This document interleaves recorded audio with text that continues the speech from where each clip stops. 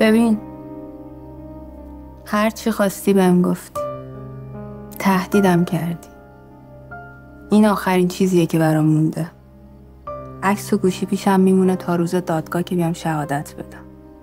منم از نوید و فروزان متنفرم. امیر عشیری هر مزخرفی که بود من دوستش داشتم. اونم منو دوست داشت. حالا هر کی هر چی می‌خواد بگه. شک ندارم اونا مردش و بیشتر از زندش دوست دارن.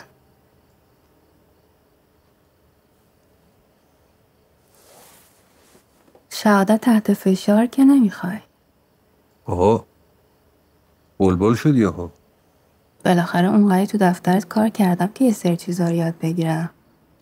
پس لابد انقدرم حالیت هست که بدونی اگه بخوای بازی سرم در بیاری انقدر تو کارم حرفه یا درجه یکم.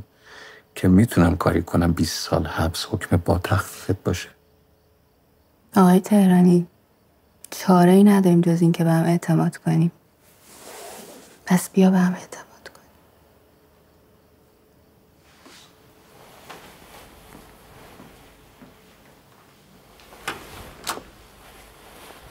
عجب این دختر بچه پر.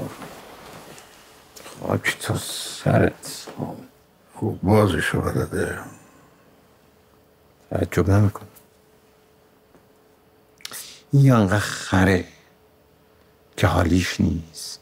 یا خودشو زده به خریت که ما رو خر کنه. یعنی یه لحظه فکر نکرده اگه پاشه بیاد دادگاه با یه همچین عکسی بخواد شهادت بده که فرشته بیگناه خودش گیر می‌کنه. خودش میگه انگیزه شخصیه ولی من میگم پول. اونم پول یا مفت. صاحب انگیزه میاره دیگه.